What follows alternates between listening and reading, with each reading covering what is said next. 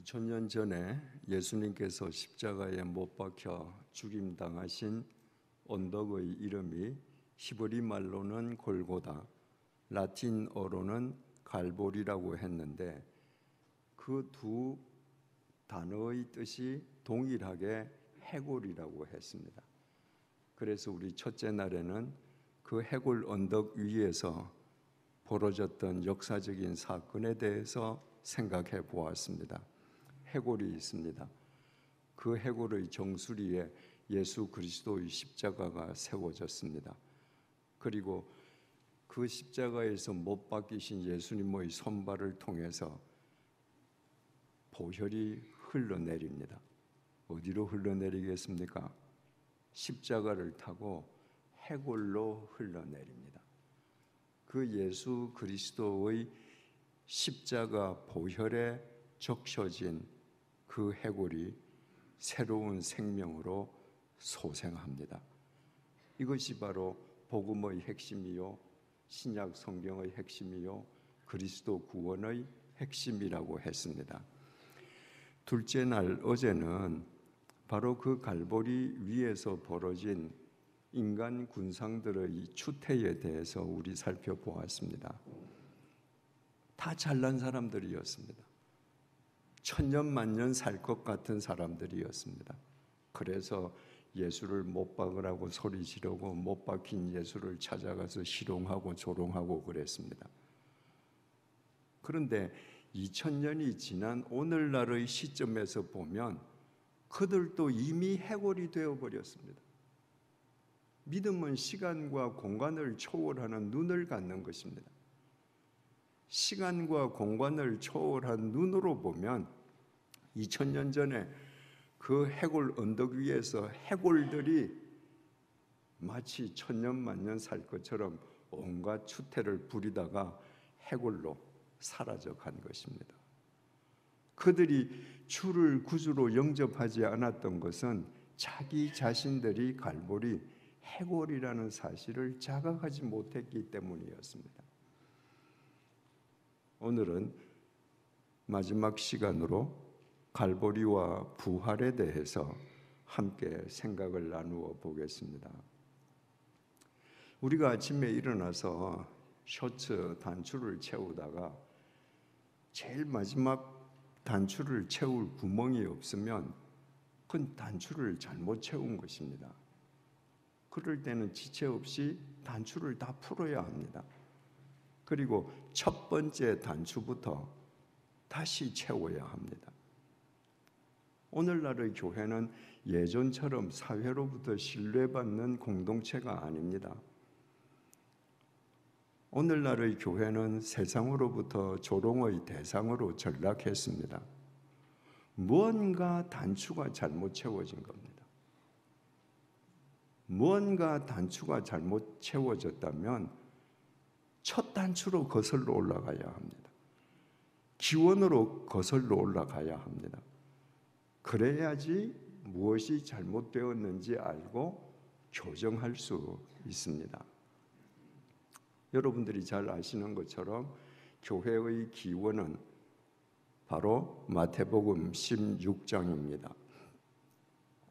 예수님께서 공생애를 가지실 당시에 세상 사람들은 예수님을 세례 요한, 예레미야 또 혹은 엘리야 같은 선지자 중의 한 사람이라고 생각했습니다.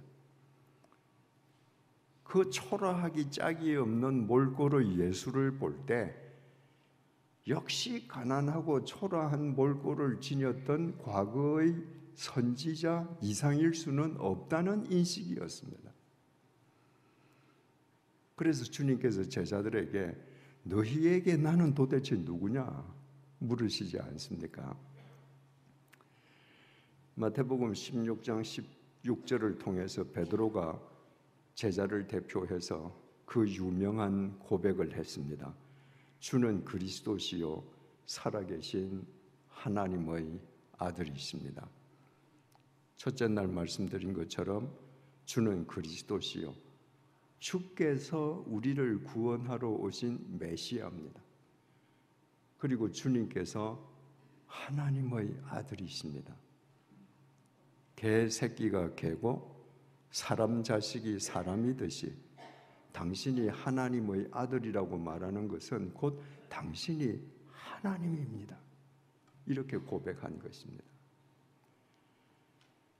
여러분, 예수님께서 너희에게 내가 누구냐 물으시고 베드로가 주는 그리스도시요 살아계신 하나님의 아들입니다라고 답한 이 문답은 심산 계곡이나 허허 벌판에서 있었던 문답이 아닙니다. 가이샤라 빌립보에서 있었던 문답입니다. 주님께서 3년 동안 제자들과 이스라엘 곳곳을 다니셨는데 가이샤라 빌립보에 가셨을 때 제자들에게 물으셨습니다. 너희들에게 나는 누구냐? 그래서 베드로가 주는 그리스도시요 살아계신 하나님의 아들이라고 고백합니다. 가이샤라 빌립보는 분봉왕 헤롯 왕이 대도시를 건설하고 그 도시에 로마 황제의 칭호인 카이사르 그리고 자기 자신의 이름인 이름인 필립 이것을 붙여서 가이샤라 빌립보라고 명명했습니다. 아무나 도시를 만들고 로마 황제 이름이나 칭호를 붙일 수 없었습니다. 초라하기 짝이 없는 동네를 하나 만들고 로마 황제 이름을 붙인다면 그것은 로마 황제를 모독하는 행위였습니다. 당시 로마 제국 내에 로마 황제의 이름이나 칭호가 붙어 있는 도시가 여럿 있었는데요. 로마 황제의 이름이나 칭호를 붙이기 위해서는 반드시 조건이 해결되어야만 했습니다. 로마 황제의 위상에 걸맞게 엄청난 규모의 대도시여야 했습니다. 더 중요한 것은 그 도시의 한, 한 중앙이나 아니면 가장 높은 언덕 위에 황제를 경배하는 황제의 신전이 있었어야만 했습니다. 당시의 로마 황제는 사람이 아니었습니다. 사람으로부터 경배받는 신이었습니다. 그래서 황제를 경배하는 황제의 신전이 있었습니다. 가이샤라 빌립보가 로마 황제의 칭호인 카이사르가 붙었다는 것은 바로 이 도시 한 중앙에 혹은 가장 높은 언덕에 황제의 신전이 있었다는 말입니다. 주님께서는 그 도시를 찾아가셔서 제자들에게 물으셨습니다. 황제의 신전이 인간을 압도하는 그 도시에서 너희에게 나는 누구냐? 베드로의 대답의 의미가 뭐겠습니까? 주는 그리스도시요 살아계신 하나님의 아들이십니다. 이 말은 주님, 저 황제의 신전에서 인간의 경배를 받는 로마 황제가 신이 아닙니다. 당신이 신입니다. 삼권을 장악하고 지중해 세계의 패자인 로마 황제가 우리를 구원해 줄 메시아가 아닙니다. 비록 누추한 몰골이를 망정 나사렛 예수 당신이 우리의 메시아입니다. 이 의미였습니다. 그 의미에 주석을 가하자면 주님, 나는 이제부터 세상을 압도하는 황제의 논리를 따라 살지 않겠습니다. 비록 초라한 몰골이를 망정 나사렛 예수, 당신의 영원한 진리의 논리만 쫓아 살겠습니다. 이 고백이었습니다. 주님께서 그 고백을 받으시고 반석 같은 그 고백 위에 너희들 교회가 아니라 내 교회를 세우시리라고 천명하셨습니다. 갈보리 교회 여러분의 공동체이지만 주인은 특정인이 아니라 주님이십니다. 이제 주님께서 메시아시요 이 땅에 강림하신 성자 하나님이심을 제자들이 다 알게 되었기 때문에 주님께서 그동안 말씀하시지 않았던 중요한 사실을 비로소 제자들에게 밝히셨습니다. 마태복음 16장 21절입니다. 이때로부터 바로 제자들이 예수가 메시아요 성자 하나님이신 줄 안 이때로부터 예수 그리스도께서 자기가 예루살렘에 올라가 장로들과 대제사장들과 서기관들에게 많은 고난을 받고 죽임을 당하고 왜 예수님께서 죽임을 당해야 돼요? 그분이 메시아 아닙니까? 죄의 싹은 사망입니다. 모든 인간은 죄인이기에 다 죽어야 합니다. 죽어야 하는 그 인간의 죄값을 대신 치르시기 위해서 예수님께서 십자가의 제물이 되셨으니까 인간을 대신해서 반드시 주님은 죽임을 당하셨어야만 했습니다. 죽지 않으면 그리스도가 안 돼요. 근데 그것으로 끝났다. 해골 위에 세워진 예수의 십자가로부터 보혈이 흘려 내려서 그 해골을 소생시키는 것으로 끝나고 예수도 죽어버렸다. 그러면 예수의 구원은 이 땅에 국한된 구원입니다. 예수도 죽고 우리도 수명이 다하면 죽고 그걸로 끝이에요. 예수님의 구원이 이 땅에 국한된 구원이 아니라 영원한 하나님의 나라를 향하는 구원이 되게 해 주시기 위해서는 주님께서는 반드시 죽임을 당하시고 반드시 죽음을, 죽음을 깨뜨리고 부활하셔야만 했던 것입니다. 그래서 주님께서 많은 고난을 받고 죽임을 당하고 제3일에 살아나야 할 것을 제자들에게 비로소 나타내시니. 그러면 제자들이 어떻게 해야 되겠습니까? 방금 베드로가 예수님을 가리켜서 당신이 메시아고 당신이 하나님이라고 고백하지 않았습니까? 그 하나님께서 내가 지금 예루살렘에 가서 죽임을 당하고 제3일에 다시 살아날 것입니다 하면 아 알겠습니다. 우리가 무엇을 준비하면 되겠습니까? 이렇게 해야 되지 않겠습니까? 그런데 베드로에게는 주님께서 고난을 당해 죽으신다는 소리만 들리고 그 소리를 먼저 하셨으니까 주님께서 죽는다는 소리에 사로잡혀서 제3일에 살아나야 한다는 말씀은 듣지도 않았습니다. 믿지도 않았습니다.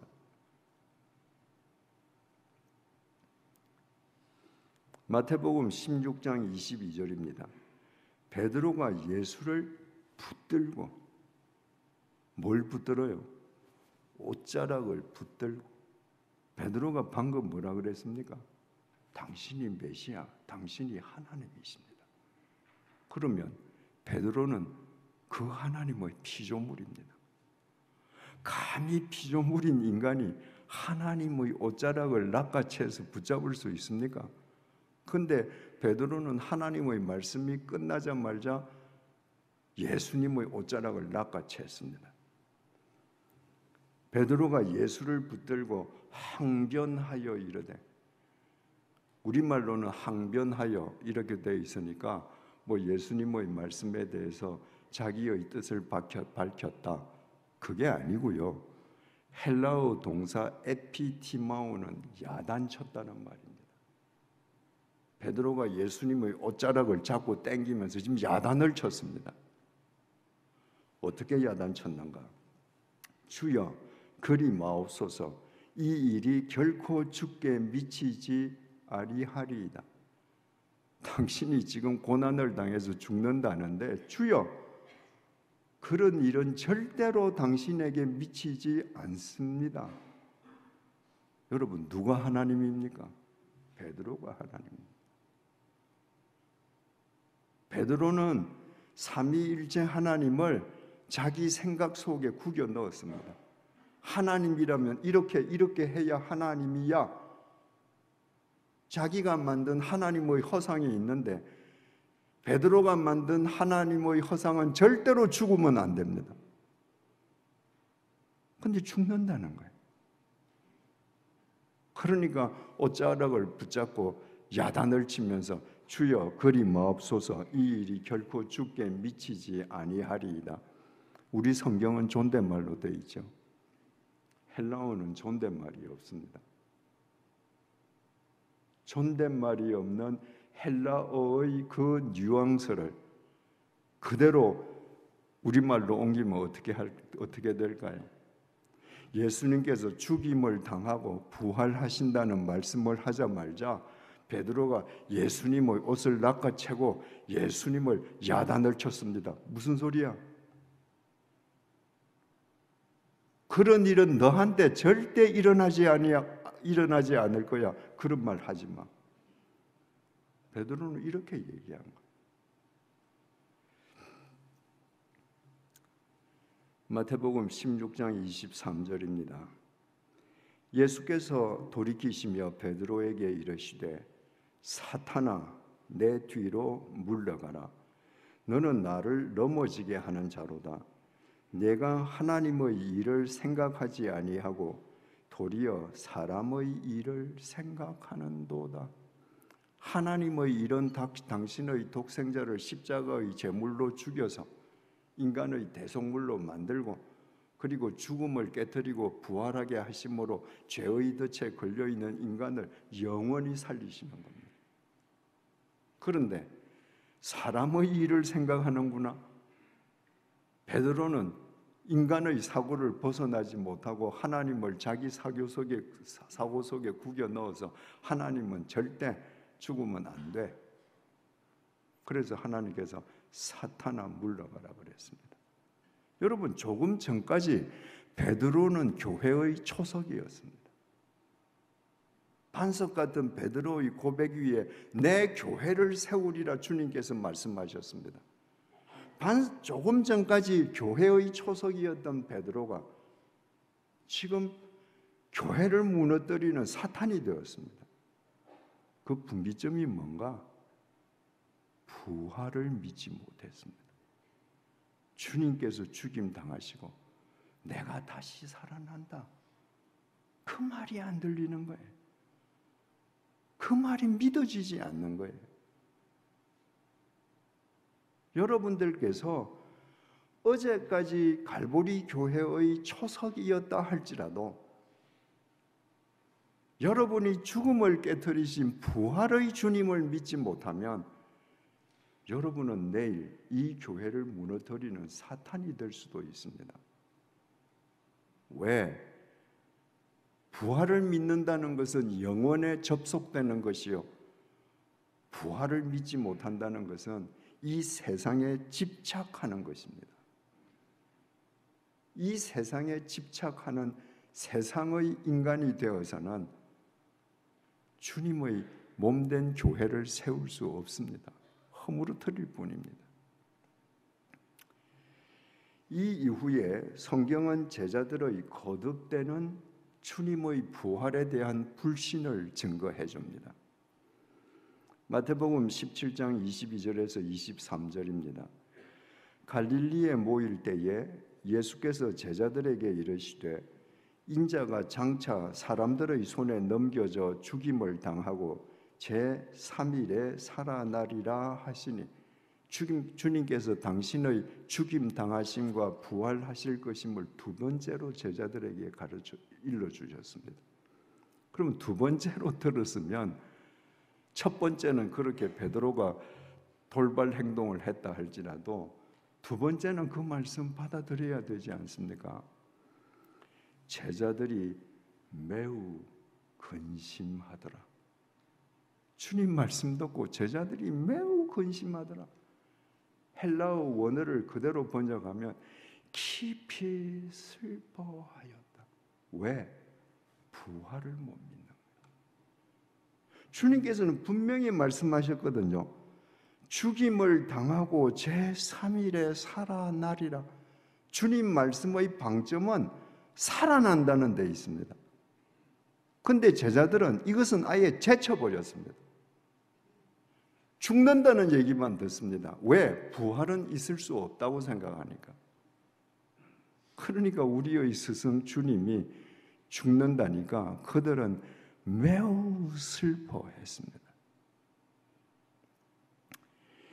예수님께서 이제 십자가에 못 박혀 돌아가시기 위해서 예루살렘으로 올라가십니다. 그러니까 금요일 날 십자가에 못 박히신 주님께서 금요일 닷새 전에 예루살렘으로 올라가시는 거예요. 마지막으로 그리고 세 번째로 주님께서 당신의 죽임 당하심과 부활을 제자들에게 밝혀 주십니다. 마태복음 20장 17절 19절 제자리, 제자들이 두 번 다 제대로 믿지 않았기 때문에 이번에는 훨씬 더 구체적으로 설명해 주십니다. 예수께서 예루살렘으로 올라가려 하실 때에 열두 제자를 따로 데리시고 길에서 이르시되 보라 우리가 예루살렘으로 올라가노니 인자가 대제사장들과 서기관들에게 넘겨짐에 그들이 죽이기로 결의하고 이방인들에게 넘겨주어 이방인들은 로마 제국입니다. 빌라도 총독 넘겨주어 그를 조롱하고 채찍질하며 십자가에 못 박게 할 것이나 제3일에 살아나리라. 이번에도 주님의 방점은 살아난다는 데 있습니다. 근데요, 제자들은 세 번째 들으니까 주님께서 죽으신다는 이야기에 대해서도 이제 우이독경이 됐습니다. 아무런 감흥이 없습니다. 아, 저건 뭐 어뢰 주님께서 저렇게 하시는 말씀. 주님 이 말씀이 끝나자마자 뭐 했는가? 세베대의 아내 요한과 야고보의 어머니가 몰래 예수님을 찾아와서 청탁을 넣었습니다. 예수님, 예루살렘에 가시면 당신의 오른쪽에 내 아들 한 명, 왼쪽에 또 한 명좀 도두십시오. 지금 예수님께서는 인간의 죄값을 치르시기 위해서 십자가에서 죽임 당하시고 부활하신다고 하는데 지금까지도 제자들과 주위 사람들은 그 바다 위를 걸으시고 죽은 사람을 살리시고 빵 다섯 조각과 물고기 두 토막으로 수천 명을 먹이시던 그 신통력으로 주님께서 예루살렘에서 빌라도 총독을 쫓아내고 자기네들에게 정치적인 해방과 경제적인 번영을 가져다 주리라고 확신하고 있습니다.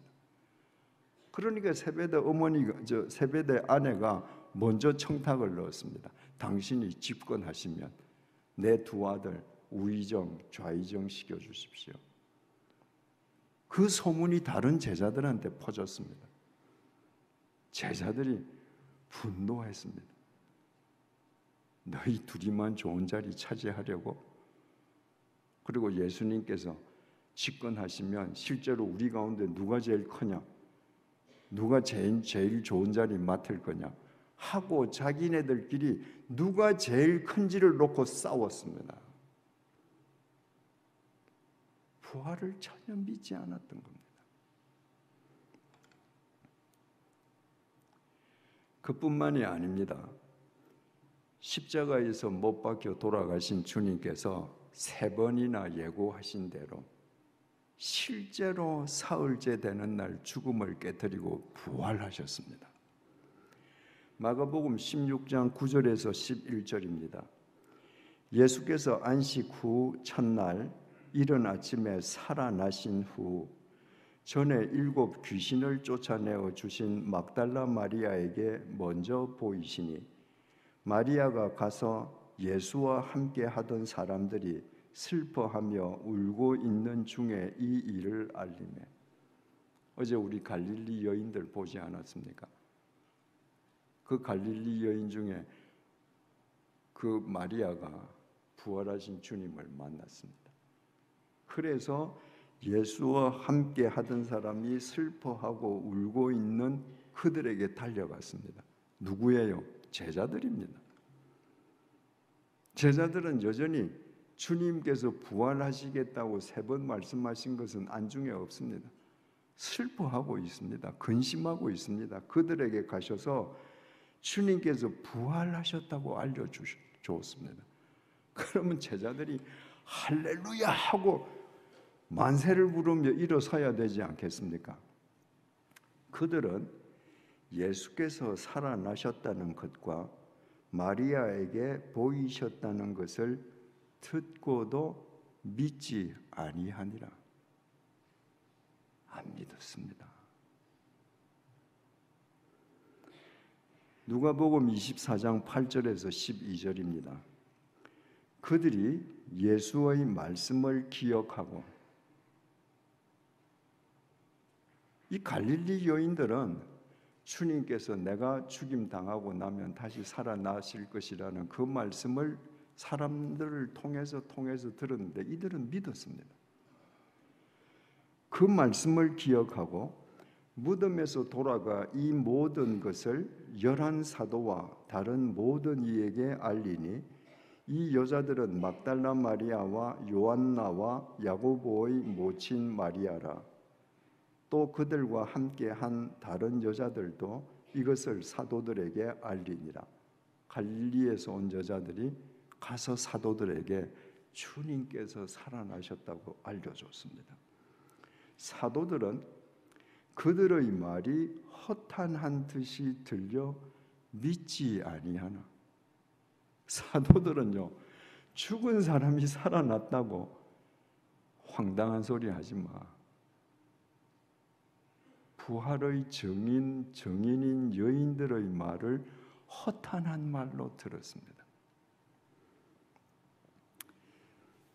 베드로는 일어나 무덤에 달려가서 구부려 들여다보니 세마포만 보이는지라 제자들 중에서 베드로만 주님께서 다시 살아나셨다는 말씀을 듣고 무덤으로 뛰어갔습니다.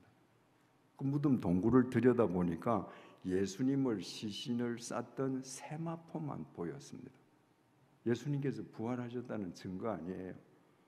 그러면 부활하신 예수님이 어디 계시는지 부활하신다고 세 번 예고하셨던 주님의 말씀을 상기하면서 주님을 찾아다녀야 되지 않겠습니까?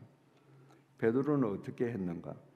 그 된 일을 놀랍게 여기며 집으로 돌아가니라. 놀랍게 여기다. 싸우마조 희한하게 여겼다는 거예요. 이상하다. 분명히 예수의 시신을 세마포로 싸서 넣었는데 왜 세마포는 없고 어, 시신은 없고 세마포만 있지? 베드로조차도 희한하게 여기고 자기 집으로 가버렸습니다. 여러분 이것이 제자들의 모습입니다. 동시에 주님을 믿는다면서도 이 세상에만 몰입되어 있는 우리 자신의 모습이기도 합니다. 교회는 건물이나 제도가 아니라 주님을 믿는 사람들의 모임이라고 그러지 않았습니까? 그런 의미에서 주님을 믿는 제자들이 첫 번째 교회였습니다. 주님을 믿는 사람들의 모임이니까. 그 첫 번째 교회가 이렇게 주님의 부활에 대해서 불신했습니다. 믿지 않았습니다. 그 결과 그들의 실체는 어떠했던가? 요한복음 21장은 사복음서의 마지막 장인 동시에 요한복음 21장의 결론장입니다. 그리고 요한복음 21장에 연이어서 교회의 역사를 일러주는 사도행전이 시작되거든요. 그 요한복음 21장 중에서 제일 마지막 단락입니다. 요한복음 21장 23절 아니요. 요한복음 21장 20 죄송합니다. 요한복음 21장 18절에서 19절. 지금 예수님께서 베드로에게 말씀하시는 겁니다. 내가 진실로 진실로 네게 이르노니 내가 젊어서는 스스로 띠띠고 원하는 곳으로 다녔거니와 늙어서는 내 팔을 벌리리니 남이 내게 띠띠우고 원하지 아니하는 곳으로 데려가리라. 이 말씀은 하시면 베드로가 어떠한 죽음으로 하나님께 영광을 돌릴 것을 가리키심이로라. 이 말씀을 하시고 베드로에게 이르시되 나를 따르라 하시니 베드로야 지금까지는 네 스스로 허리띠를 메고 나를 믿는다 하면서도 네가 원하는 곳으로 다녔지. 근데 이 다음부터는 말이야. 네가 두 손을 벌릴 거야. 나한테 항복할 거야. 그리고 네 허리띠를 내가 맬 거야. 그리고 네가 원하지 않더라도 내가 걸어가는 곳으로 네가 따라와야 해. 주님의 그 말씀은 베드로가 어떻게 어떠한 죽음으로 하나님께 영광을 돌릴 것인가 하는 것을 가리켰다. 베드로의 순교를 그렇게 표현하신 겁니다. 너 나를 위해서 순교해야 돼. 베드로가 자기가 주님을 위해서 순교해야 된다는 말을 알아들었습니다. 요한복음 21장 20절에서 21절입니다.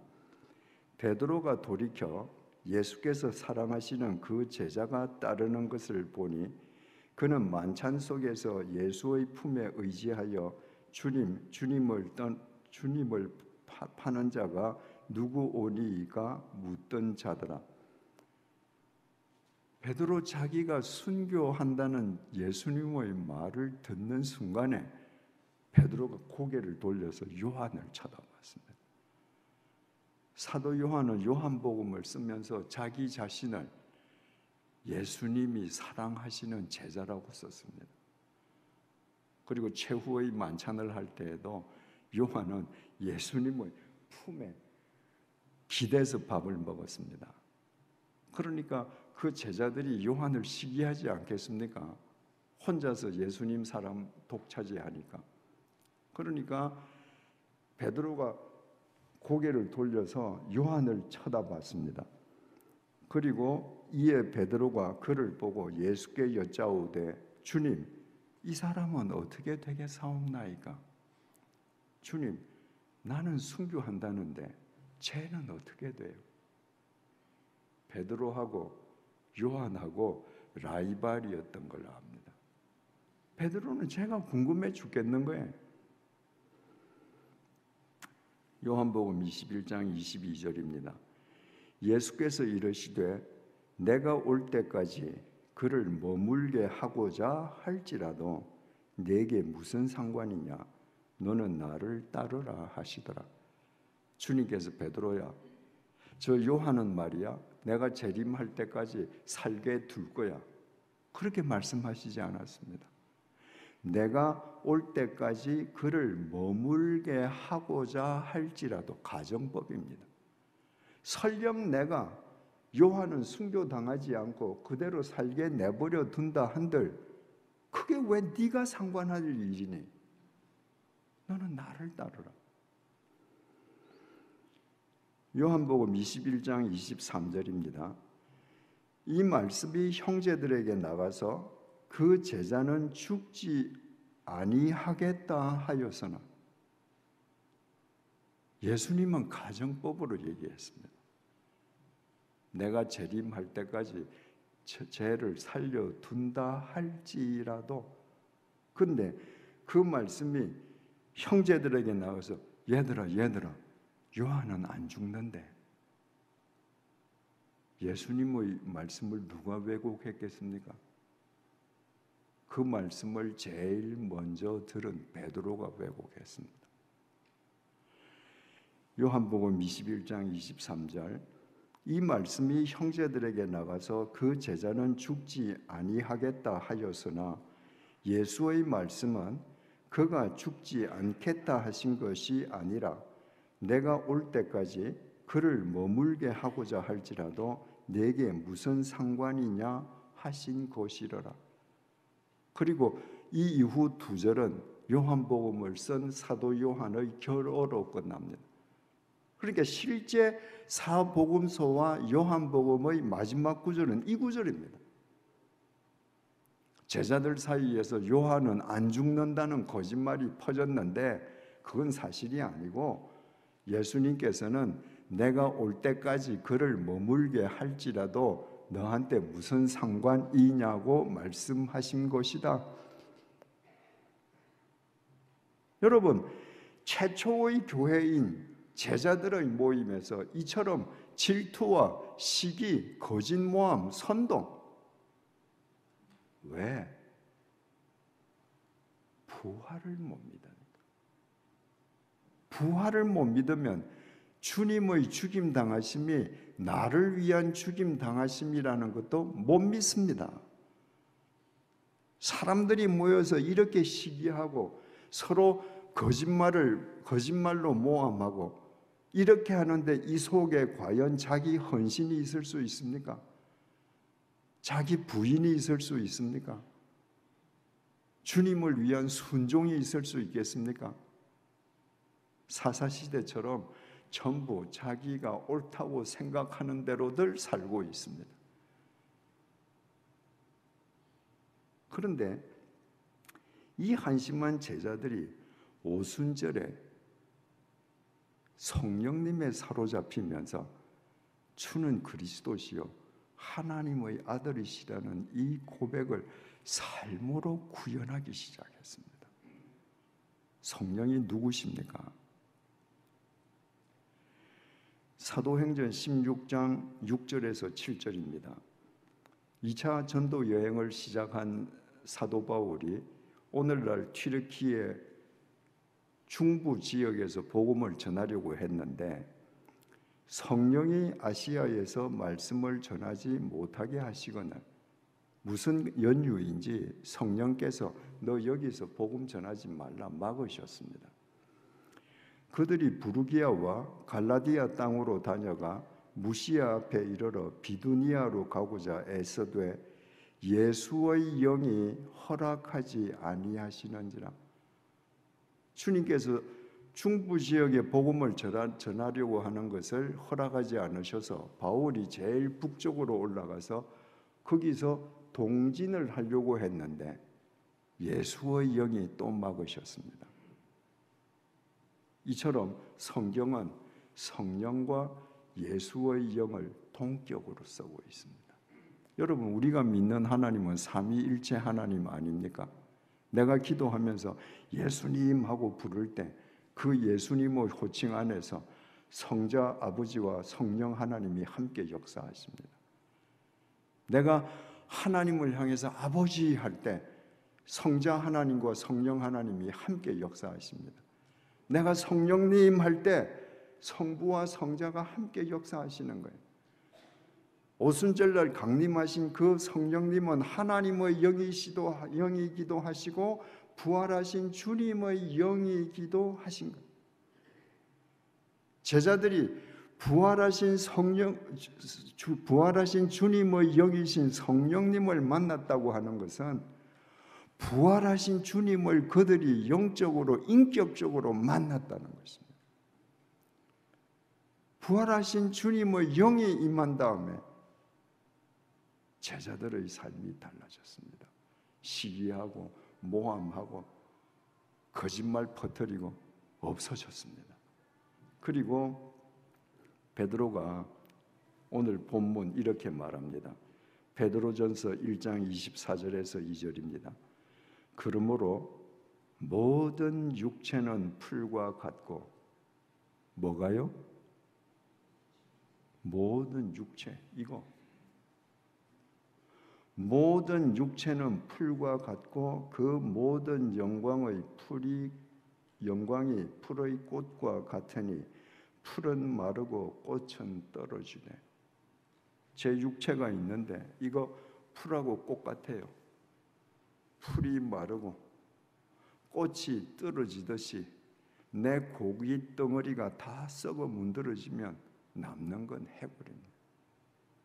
지금 베드로가 모든 육체는 해골이다 이렇게 얘기하는 거예요. 풀은 마르고 꽃은 떨어지되 오직 주의 말씀은 세세토록 있도다. 육체는 해골이 되는데 주님의 말씀은 영 원히 있다. 어떤 말씀? 너희에게 전한 복음이 곧 이 말씀이다. 너희에게 전한 이 복음이 뭐예요? 예수님께서 우리의 죄값을 대신 치러 주시기 위해서 십자가의 제물로 죽임 당하셨다가 죽음을 깨뜨리고 부활하심으로 우리에게 영원한 생명을 주셨다는 것 이게 복음입니다. 이 이후에 베드로는 온갖 고난을 감수했습니다. 어떤 어려움이 있어도 두려워하지 않았습니다. 왜? 부활하신 주님이 자기 속에 계시기 때문입니다. 여러분 엔도 슈사크라는 일본 작가가 책 두 권을 썼습니다. 첫 번째 책 제목이 예수의 생애입니다. 두 번째 책 제목이 그리스도의 탄생이에요. 여러분 이상하죠? 첫 번째 책이 예수의 탄생이고 두 번째 책 제목이 그리스도의 생애라 생애가 되어야 되지 않겠습니까? 근데 엔도슈 사건은 예수의 생애, 생애를 먼저 놓고 이권이 그리스도의 탄생입니다. 철저하게 제자들의 입장에서 썼기 때문입니다. 제자들이 부활하신 주님의 영을 인격적으로 만나기 전까지 그들에게 있어서 예수는 자기들보다 조금 나은 사람이었습니다. 그래서 베드로가 옷자락 잡고 야단치고요. 주님의 말씀을 왜곡해서 거짓말 퍼뜨리고 예수의 생애입니다. 그 예수가 죽임 당한 다음에 부활하시고 그 영을 보고 나니까 비로소 제자들 마음속에 예수가 그리스도로 탄생하기 시작한 겁니다. 그래서 그들이 죽음을 두려워하지 않았습니다. 부활의 주가 내 속에 계시니까. 여러분, 초대교회 교인들을 생각해 보십시오. 박해를 당할 때 그들은 예수를 믿는다는 것, 예수를 부정하지 않는다는 이유 때문에 사자의 밥이 되거나 불에 타 죽었습니다. 그러나 그들은 불에 타 죽으면서도 사자의 밥이 되어서 죽으면서도 예수가 살았다고 외쳤습니다. 왜? 부활하신 예수를 진짜 만났거든요. 여러분, 오늘 사순절 첫 번째 주일입니다. 아까 처음에 말씀드렸듯이 예수님께서 죽임 당하시는 것으로 끝나면 예수님의 구원은 이 땅에 국한됩니다. 우리도 공동묘지에서 끝납니다. 사순절이 주님의 고난을 기리는 것은 사순절이 바로 주님의 부활을 향하는 관문이기 때문입니다. 이 사순절을 지나는 동안에 여러분은 주님의 고난을 볼 것이 아니라 그 고난 당한 주님께서 우리를 영원히 살리시기 위해서 부활하셨음을 눈으로 보아야 합니다. 이제 우리 답을 얻었습니다. 왜 한국 교회가 이렇게 조롱과 비난의 대상으로 전락했는가? 부활을 믿지 않기 때문입니다. 여러분이 부활을 믿지 않는다는 것은 영원을 믿지 않는 것이고 영원을 믿지 않으면 여러분들이 아무리 헌금 많이 하고 아무리 교회에서 열심히 봉사해도 여러분의 믿음은 세상에 국한되어 있습니다. 세상에서 출세하고 돈 더 많이 벌고 내 자식 잘 되고 그게 다예요. 예수께서 그 위에서 돌아가셨습니까? 아닙니다. 여러분으로 하여금 구별된 거룩한 삶을 살게 하시고 여러분으로 하여금 진리의 열매를 맺게 하시고 여러분을 통해서 죽어가는 많은 영혼이 새로운 생명을 얻게 하시기 위해서 여러분을 불러내신 것입니다. 사랑하는 교우 여러분, 부활의 주님을 모시고 살아가십시다.